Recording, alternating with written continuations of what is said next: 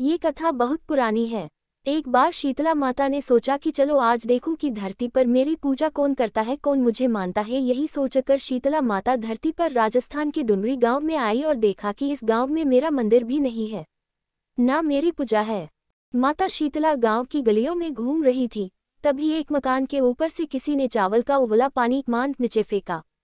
वह उबलता पानी शीतला माता के ऊपर गिरा, जिससे शीतला माता के शरीर में छाले फफोले पड़ गए। शीतला माता के पूरे शरीर में जलन होने लगी। शीतला माता गाँव में इधर उधर भाग भाग के चिल्लाने लगी, अरे, में जल गई। मेरा शरीर तप रहा है, जल रहा है, कोई मेरी मदद करो। लेकिन उस गाँव में किसी ने शीतला माता की मदद नहीं की, तभी अपने घर के बाहर एक कुम्हारन महिला बैठी थी। उस कुम्हारन ने देखा कि, अरे, ये बुढ़ी माई तो बहुत जल गए इसके पूरे शरीर में तपन है, इसके पूरे शरीर में छाले फफोले पड़ गए हैं। ये तपन सहन नहीं कर पा रही है।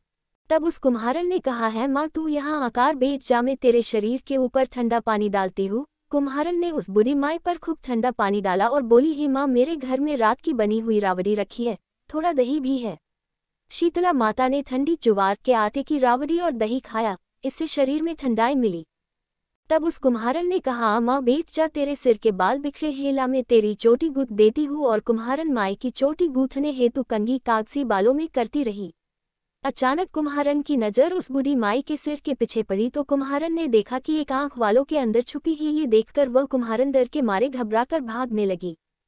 तभी उस बूढ़ी माई ने कहा, रुक जा बेटी, तू डरमत में कोई भूत प्रेत नहीं हूँ। मैं शीतला देवी हूँ। मैं तो इस धरती पर देखने आई थी कि मुझे कौन मानता है। कौन मेरी पूजा करता है? इतना कह माता चारभुजा वाली हीरे जवाहरात के आभूषण पहने सिर पर स्वर्ण मुकुट धारण किए अपने असली रूप में प्रकट हो गई माता के दर्शन कर कुम्हारन सोचने लगी कि अब मैं गरीब इस माता को कहाँ बिठाऊं?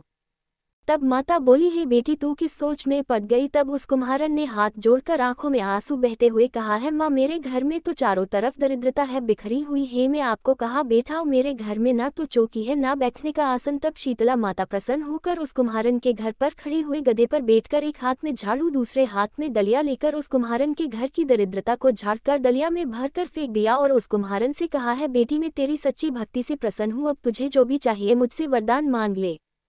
तब कुम्हारन ने हाथ जोड़कर कहा, है माता, मेरी इच्छा है, अब आप इसी टुंगरी गाँव में स्थापित होकर यही रहो और जिस प्रकार आपने मेरे घर की दरिद्रता को अपनी झाड़ू से साफ़ कर दूर किया, ऐसे ही आपको जो भी होली के बाद की सप्तमी को भक्ति भाव से पूजा कर आपकी ठंडा जल दही व वासी ठंडा भोजन चदाए उसके घर की दरिद्रता को साफ़ करना और आपकी पूजा करने वाली नारी जाति महिला का अखंड सुहाग रखना, उसकी गोद हमेशा भरी रखना।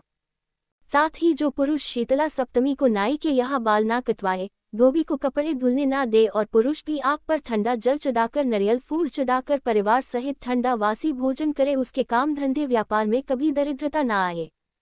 तब माता बोली, तथास्तु है बेटी, जो जो तूने वरदान मांगे, मैं सब तुझे देती हूँ।